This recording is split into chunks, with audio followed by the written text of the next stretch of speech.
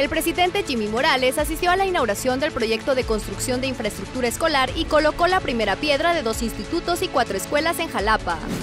El compromiso que ustedes tienen y la satisfacción que van a tener es poder decir que ustedes construyeron un edificio de las mejores condiciones para que niños, para que jóvenes y señoritas puedan prepararse y puedan tener más oportunidades y también generarle más oportunidades a toda la población de San Luis y Lotepeque. Tenemos las escuelas de la reforma, que son escuelas que se van a construir en el país y que van a ser modelo, van a ser referencia para que nuestros jóvenes y nuestros niños tengan mejor educación. El programa de recuperación y remozamiento de edificios escolares de Guatemala cuenta para el presente año con 105 millones de quetzales y un respaldo de 562 millones entre préstamos y donaciones hasta el 2019. La Alianza por la Transparencia aprobó la Política Nacional de la Transparencia y Prevención de la Corrupción con una vigencia de cinco años, que supervisará el uso de recursos y que la ejecución de proyectos sea eficaz y eficiente. La información en torno a la socialización de esta política a nivel de los eh, diferentes eh, estamentos del Estado, como es la eh, a nivel departamental, a nivel municipal.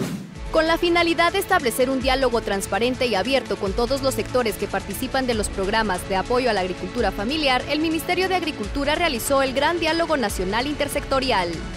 Para transparentar todo el proceso. No es que no haya sido transparente anteriormente, pero queremos tener un proceso perfecto y es la orden del señor presidente que todo se haga con transparencia. Eh, que no quepa la menor duda en la ciudadanía que sus impuestos se están utilizando de la mejor forma posible y que realmente la ayuda llegue a los beneficiarios más, eh, a quien debe llegar, a, a, los agricultores de infra y de subsistencia. 181 viviendas de la comunidad Querida Familia que ocuparán las familias afectadas por el deslizamiento en la aldea Alcambray 2 Santa Catarina Pinula serán entregadas por el gobierno de Guatemala. Dar una noticia de la ampliación de, de construcción. El recorrido se basa prácticamente en dos aspectos. Uno es garantizar las viviendas que ya se están eh, terminando con la fase de acabados y texturizados.